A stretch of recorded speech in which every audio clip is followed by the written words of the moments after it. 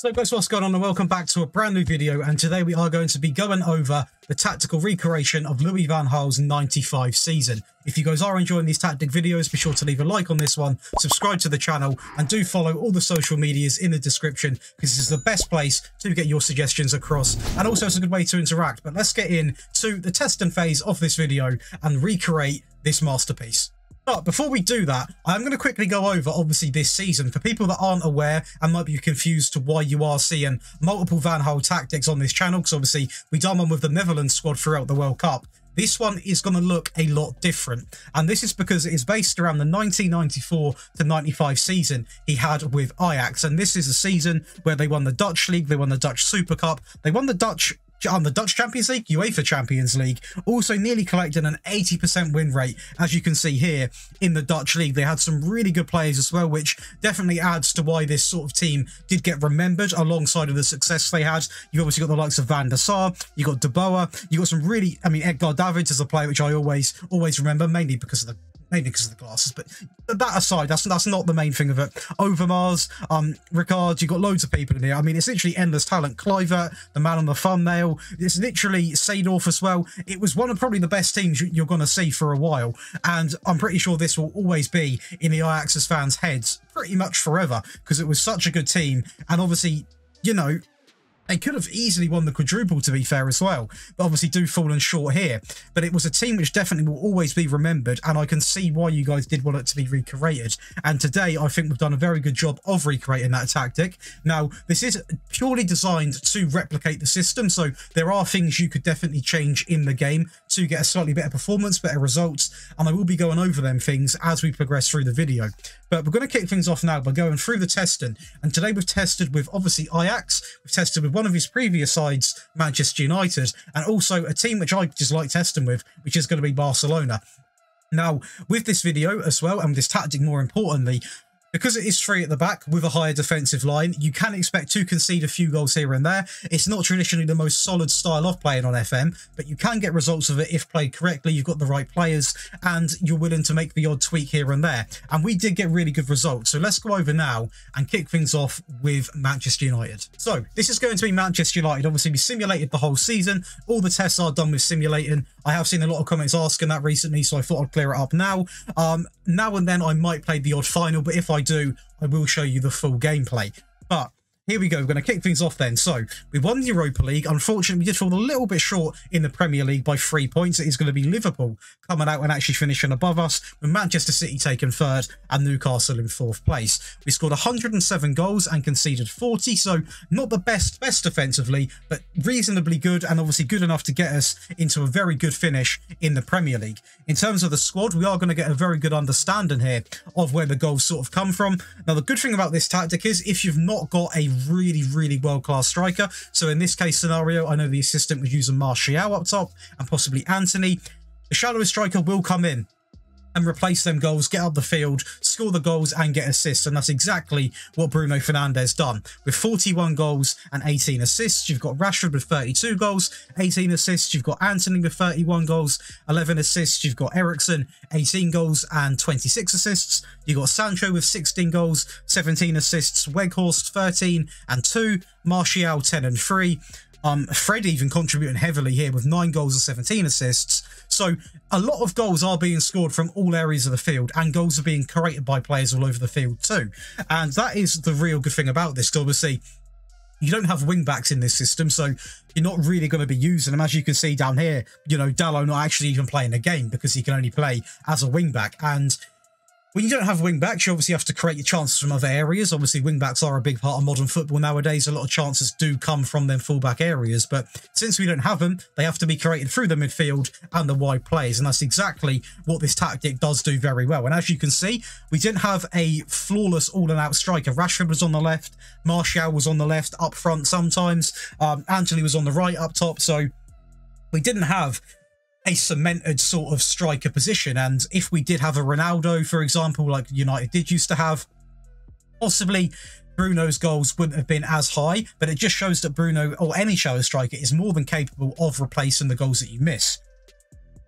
Going into the data hub, then general performance 2.82 goals per game and just conceding over a goal, which I will take, considering this tactic is by no means meant for being a defensive sort of tactic at all. It done very well in this division. Good car, um, pass completion sitting at 88.4%, so very good there, and pretty much doing exactly what you'd expect this tactic to do. And we then go over to Barcelona, and this is going to be a completely different comparison because this is what happens when you have got a world-class striker that can score loads and loads of goals. Obviously, Lewandowski in terms of ability, we are purely based on this off stars. You put him in the Haaland category, the Mbappe category, the Harry Kane, etc., etc. You know, the real goal scorers of this game. And he can score goals, as we've seen. We managed to win the Spanish division. Not the best display in the Spanish Cups, but we won it so comfortably in the division. I'm more than happy to obviously show you this side of things. 124 goals scored, and a lot better at defending, only conceding 16.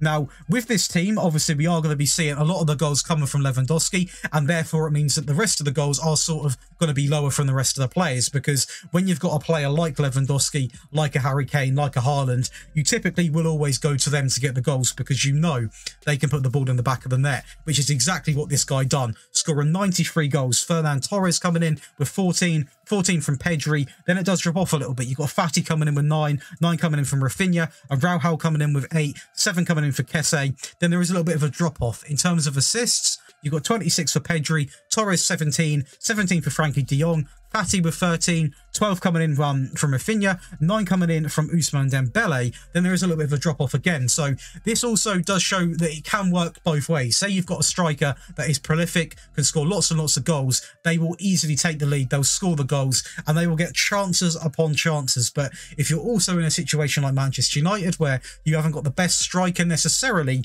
you can rely on your shadow striker to pick up the slack and get majority of the goals. So it's a real good it's a real good system either way. In terms of the general performance with this one, it is really impressive, this one. 89.4% pass completion, over three goals a game, and under half a goal conceded per game. So this is slightly the different end of the scale. Obviously, we've probably got one of the best defences, if not the best defence in this division, possibly Real Madrid actually, but very, very good defence in this division. And obviously, it is a slightly more comfortable league. So if you are playing in a situation like this, this is what you can expect to see. And we absolutely dominated the division, as you can see here, 103 points. Real Madrid only managed to get to 86, so a very comfortable display. And that leaves us one last test, which is going to be with Ajax. And this is going to be the Ajax save. Now, if anyone does know of any databases we can use, please do tell me, because I would have loved to test with an old database and obviously use the players which we talked about at the start of the video. Um, but unfortunately, I couldn't find any. So let me know if there are, if there are, sorry, any going about, and I'll make sure that we include them in future videos. Like it would have been good for the Sir Alex Ferguson one. We could have used the old United team, etc., etc. But Let's kick things off then. So it was a very successful season. We won the treble also, but not the Champions League. Unfortunately, it's going to be AC Milan just a little bit too dominant for us, and we couldn't come out on top in the quarterfinals. We scored 82 goals across the season and only conceded 18, so quite impressed there. It's going to be Steven Berghuis coming in with 42 goals, Jurrien Timber coming in with a 7.64 match rating overall, and Dusan Tadic with 20 assists. A very comfortable season as Feyenoord do take second place with 77 points, but it's going to be Ajax, obviously obviously us 85. So a very comfortable season there. And it's going to be the squad that is going to back this up as well. Quite a tight-knit squad for Ajax, I've noticed, by the way. So it'll be Berghuis coming in with 42 goals, a very, very good player there. So um, 20 goals coming in there from Brobbey, I believe one of their newer signings, or newer, slightly newer signings. 90 coming in from Kudus, Tadic with 14 goals, Bergwijn coming in with 13. And there is a little bit of a drop-off. Um, but scoring more than enough goals to win a division, so that's all that matters, to be honest. You then got Dusan Tadic with 20 goals, 14 for Bergwijn, Kudus coming in with 13, 12 coming in for Kenneth Taylor, Berghuis coming in with 12 assists, 7 for Klaassen, Jensen with 7, four for Sao, Alvarez with four, Timber with four, even some of the defenders getting involved, which is always good to see. Um, but I never knew this was sort of how tight knit this Ajax squad was. There isn't tons and tons of depth at all. Um, obviously, some of these players who are traditionally fullbacks are having to play for depth, etc., etc. When there are when that were injuries, I guess, which is a little bit annoying because we possibly could have done even better. But it is what it is. In terms of the data hub, general performance, 2.41 goals per game. So to be honest, possibly could have expected a little bit more in this division, but we still dominated pretty much every game we went into, only conceded 0.53, and we are approaching towards a pass completion of 90%. So you can't complain too much when you've when you've got that much of the ball, and you know, when I say that much of the ball, you will be seeing the possession stats as well, but a very dominant display. And to back that up, we'll go to Ajax here quickly go to the Dutch division, go to the stats, and this is where we can get a real good look at what we are producing this season. So most points per game, most goals, quite comfortable there. Most shots for, very comfortable there. Fewest shots against, very comfortable there. And this is a standout one. 64% possession, obviously two more percent than second place, and 64% to have across any season with any team is still very impressive. And I think it says a lot about what this team is about. As you can see here, we averaged an 89% as well. So it is really good. And it just shows that potentially some of these you know, when you are seeing not as many goals go in, it might be a mixture of good defending, but also the fact that you have got so much of the ball. And obviously, when you've got the ball, the other team can't score. So it sort of adds up. It could be a mixture of great defending, but also the fact that you've got so much of the ball, the other team can't do anything anyway. Most dribbles made, we dominated that stat line as well, and obviously the fewest conceded and most clean sheets. So a very, very impressive season with Ajax. I'm pretty sure the Ajax fans will be happy with that one. And now what we're going to do is we're going to pick out a couple of games and watch some goals and see exactly how you can expect to see the chances go in. The first one is going to be in the Dutch Cup final against PSV Eindhoven, which did go to extra time, by the way. We are the play of players, the team that do go 1-0 up with a fantastic ball from Timber, I believe, and a fantastic finish from Kudus. However, they do find a way back into the game, which was a little bit frustrating, as it was pretty much in the 90th minute, which pushed it to extra time. Just I don't know how he was on side there. He had so much space, it was unreal. And unfortunately, the keeper does leave him quite an easy finish after parrying into a danger area. Timber, again, I want you to look at this. I want you to look at this carefully because when you've got this system playing, the three at the back in particular, and they the other team allows one of the centre backs to drive into this midfield. Look at how many people we have got forward, how many options we've got that we could go to, and the confusion it causes for the other team. We've got two players behind here, so we are contributing so many players forward. It is very difficult for the other team to obviously defend it. You, you can see from this point here, you've got two four players making great runs. You've also got a wide option here, which we can just see off the screen. We've obviously got midfield options if we needed it as well. There's so many options, and also there would be a player around this down area here.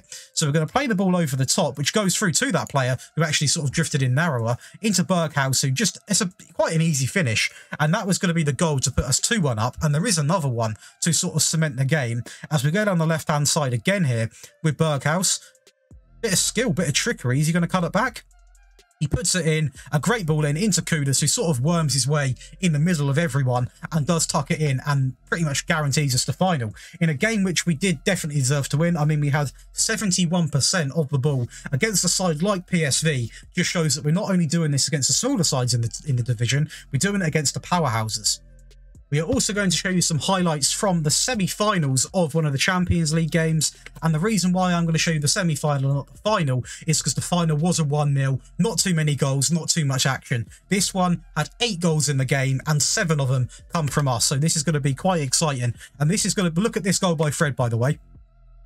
What a strike that is. And that is why I never, or not never, but in this system, I don't have the work the ball into the box on because I feel like you get so many more chances so many more goals, sorry, more than chances, not having it on with this style because you naturally have so many players forward that you want your players to be allowed to have a pop shot because you create so many chances anyway. So you may as well let your players have the opportunity to have a little bit of freedom, have a shot here and there. And obviously you can see some of the benefits inside of what 10 minutes from Fred. We're going to build up again here. Varane into Eriksen using every area of the pitch possible. As Sancho goes through, little finesse. It is going to be just a little side foot finish into the near post against his former side, and that is going to be 2 0 up. A more direct approach here is Bruno Fernandes. I want you to watch Jadon Sancho here. He plays the ball over the top, and look at the commitment here.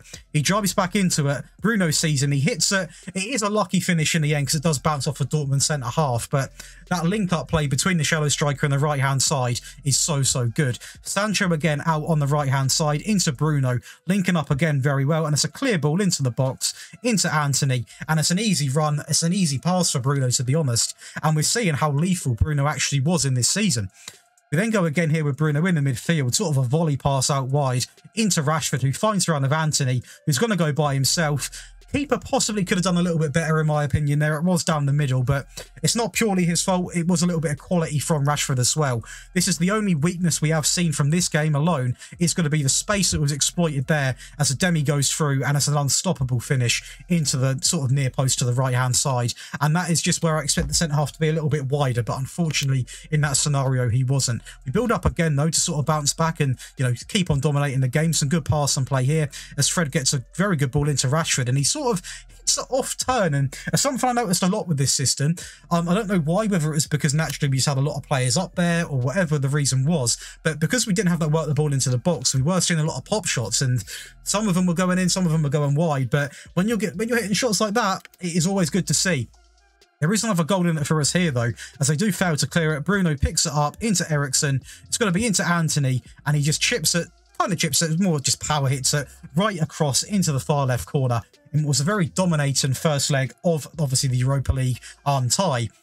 Against the Dortmund side, it was full strength as well. There's no excuses there from them. Obviously, their best team out, and we've come out and absolutely thumped them. So a very dominant display. The stats are all in our favour. Again, 70% of the ball against a side like Dortmund just shows exactly this tactic can do it against anyone. So guys, it's now going to be your favourite part of the video because we are going to be breaking down this tactic. If you guys are enjoying the video so far and you want to see more tactics, be sure to leave a like on this video, subscribe to the channel and do turn on notifications. If you want to stay in touch more, you can follow all of my social medias in the description. That's where I post when I'm going to go live, any video ideas I've got potentially, and also giveaways. So they're really worthwhile and you can find them all in the description. But let's break down the Van Gaal 95 tactic. So it is going to be a 3-1-2-1-3, believe it or not, is what is what it's based around. Now, obviously, you could see, you could call it several things. Um, various three at the back formations it looks like, but it is very unique in the way that it works. So we're going to spend a little bit of time going over it and also going over how you can make it more defensive or if you need to chase a goal. And then if you guys do need to, you know what to do. So we're going to kick things off then. In possession, you want positive mentality, by the way. In possession, you want wide. That is one thing you should never change because you do need that width in this system play out of defense, slightly shorter, slightly higher, mixed crosses. Now, this page alone, there's a lot of stuff you can do. If you're chasing a game, you could change the mentality to attack them possibly. You could look to run at defense, be more expressive. Obviously, don't do all this stuff at the same time. Do it gradually. Only do this stuff at the same time if you are desperate for a goal. I'm talking 10 minutes, you want to chase, chase, chase. You could look to shoot on sight. Not really worth hitting early crosses, in my opinion, on this one, but that's just a few things you could do to really, you know, spark up this tactic. In transition, you've got counter press, hold shape, distribute to the centre backs and take short goal kicks. Not too much there. Out of possession. Now, this is where we're going to sit. Now, this is actually set to a high defensive line. Um, and what you want to do with this one is this line is very, it's between standard and higher because if you're replicating at 100%, I would honestly recommend having obviously the higher line because it would replicate it pretty much down to a T. But this is what we tested on, by the way. We did test with a higher line, so they're the results we did get, just to make that very clear. We had more often on the trigger press and prevent short goalkeeper distribution. Now, one thing I'll say is, if you guys want to um, potentially seal out a game, say, for I'm going to think of a scenario, say you're 1 0 up, you've got 20 minutes left, 30 minutes left, you're trying to just ease off the game, be a bit more calmer. The first thing you look to do is definitely change this mentality to possibly balance. I wouldn't go any more than that if you're just trying to seal out a game, if you're really trying to just defend and you don't you, you don't care about the amount of pressure you've got on you, you're just trying to like thump along and get rid of it. And obviously you could go to cautious if not defensive, but out of possession, you could look to definitely drop this to a standard defensive line if you're just trying to just naturally see the game out. If you are trying to completely, you know, throw bodies at everyone, just sit at the back, just, you know, I'm talking panic stations, last two minutes of the game, you definitely could drop this to a lower defensive line, drop this to sort of a mid block, and then have the stay on feet. Um, you could look to drop off more as well and invite the pressure on and just you know just hope you don't concede. But as as anyone does know anyway, the more sort of tweaks you do with this area, if you go over the top, you are doing nothing to yourself but inviting more pressure on. And sometimes this actually affects you more than benefits you. So that's just a little heads up, but it is something you definitely could look to do. But in terms of the player roles then, the sweeper keeper on support is on take more risks. The ball playing defender is on, on defend, by the way, stay wider, take more risks and hold position. We then have a libero, a very crucial part of this team and something which I don't think you should consider switching because it works so well. dribble more and take more risks on support. And this one, basically, he just sits a little bit behind the other two. He's just, he just, you know, picks up any loose balls and just works so well because when you are playing a three at the back system, sometimes you are vulnerable to the odd ball going over the top or to a counter attack. So having someone just behind the other two does actually help a real lot. We then have another ball playing defender on defend, stay wider, take more risks and hold position. We don't have the staple of the team, the, the one position, apart from the Libero, two positions in this team, or actually three positions. I'd say the three positions I would not change at all um, would be the Shadow Striker, the halfback, and the Libero. But the halfback is obviously it's pretty much somewhat, I'm going to read this out here, is somewhat a mixture between a defensive midfielder and a very aggressive centre back that does push up. And having this guy in here does help out a lot. Having him on defend, take more risks, dribble less and hold position. We then obviously have two more midfield players in this system. We have a box-to-box -box midfielder on the left on support, pass it shorter, move into channels of run from position. And on the right-hand side, we have a Carrilero on support, take more risks, and stay wider. We then have the wingers. We have on the left-hand side an inverted winger on attack, pass it shorter, dribble more, cut inside with the ball and get further forwards. And on the right-hand side, we've got a winger on attack, pass it shorter, dribble more, run wide with the ball, cross more often, cross from the byline, get further forwards and stay wider. And then a shadow striker on attack, roam from position, dribble more, take more risks, get further forwards and move into channels. Now, I would definitely not change the Shadow Striker because, as you've seen, it does play a big role in this team. If you've got a striker that possibly isn't the best or maybe injured or just not performing, the Shadow Striker will replace them goals, as we've seen with Bruno. And it, it's just a real, real good thing. And if you have got a striker as well that is performing, they work so well alongside each other. So I would definitely not look to change that under any circumstance. We then have the last position, an advanced forward on attack, and he is simply told to move into channels. Guys, that is going to be the Louis Van Gaal 95 tactic broken down. Hope you guys have enjoyed it. If you have, be sure to leave a like on the video and subscribe to the channel. If you want to save yourself a little bit of time, I do appreciate anyone that does watch the video and watch how the tactic does break down. But you can download it from the FM Scout website. But that is going to be it for me today, guys, and I will see you in the next one.